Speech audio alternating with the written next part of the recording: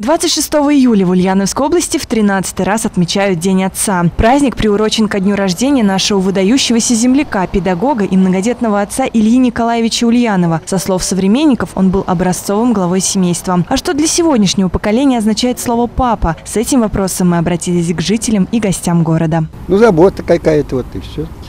Помогать по возможности. Папа это много значит. Мой папа, мой папа воевал, Москву освобождал, брал Берлин Ре- Рейхстаг. многое. Это наставник, учитель, пример во всем. То есть так, святой человек, ну, наравне с мамой, так скажем. Папа это самый любимый человек. Э, Он хороший, его все любят.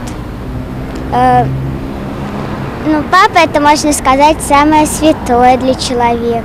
родной человек, который всегда поможет и выручит из любой беды. Это человек является защитником семьи, защ- защитником, соответственно, своих детей. Вот это вот для меня папа.